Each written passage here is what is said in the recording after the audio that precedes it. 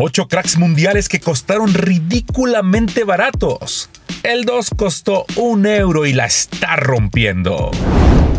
El mercado de fichajes ha recibido muchas críticas durante los últimos años, y es que los precios de los jugadores se están inflando más y más, y cada día es más normal escuchar de un jugador que vale más de 100 millones u ofertas de locura por parte de los equipos. Pero sin duda en el pasado, hubo unas tremendas gangas que al conocerlas solo podemos gritar ¡qué ofertón! Aquí te presentamos a los 8 cracks mundiales que costaron ridículamente baratos. Número 8.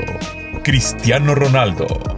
CR7 le costó solamente 19 millones de euros al Manchester United. Es una cifra común y tal vez algo elevada para un chico de 18 años en aquel entonces. Pero lo agregamos a esta lista porque lo que se pagó fue ridículamente barato comparado con lo que hizo el jugador para el equipo y para la historia del fútbol.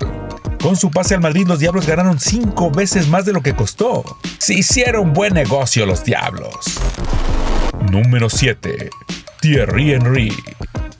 Llegó a Londres en el 99 desde la Juventus por solo 16 millones de euros. Para cuando terminó se había convertido en goleador histórico del Arsenal y uno de los miembros claves de los Gunners invencibles que aterrorizaron a Europa. ¿Una leyenda de 228 goles por 16 millones? Para mí es un ofertón. Número 6 y 5. Marcelo y Roberto Carlos. Marcelo es uno de los jugadores más longevos del Real Madrid. 21 títulos con los merengues y uno de los íconos del equipo por más de una década llegó solamente por 6.5 millones. Sin duda el Madrid hizo un negociazo con el brasileño.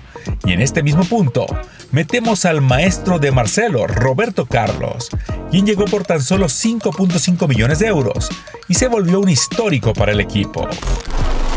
Número 4. Radamel Falcao. Un equipo que es conocido por comprar barato y vender caro es el Oporto. Pues los Dragones solo pagaron 5.5 millones de euros por Radamel Falcao, un jugador que hizo historia en Europa y en su momento fue uno de los mejores delanteros del planeta. Más tarde lo vendieron por 40 millones. Y lo demás es historia.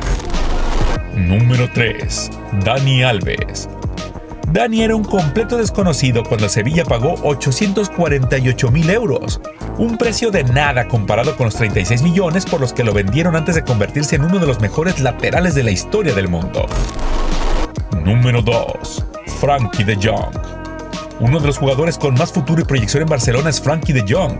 De hecho, medios como Le Parisien lo han colocado como el mediocampista con más futuro en toda Europa, y su valor va creciendo día con día.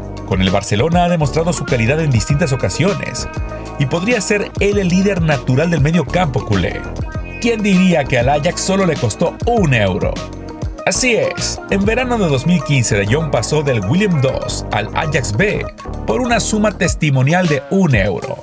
Aunque eso sí, el club formativo firmó una cláusula para recibir un porcentaje de 10% de futuros traspasos. ¡Nada tontos! Número 1.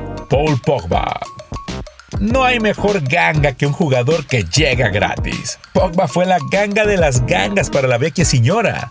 Pues el jugador creado en la cantera del Manchester United llegó a la Juventus y el equipo italiano se hizo del centrocampista gratis. Y luego lo regresó a Old Trafford, pero claro, cobrándole 100 millones de euros.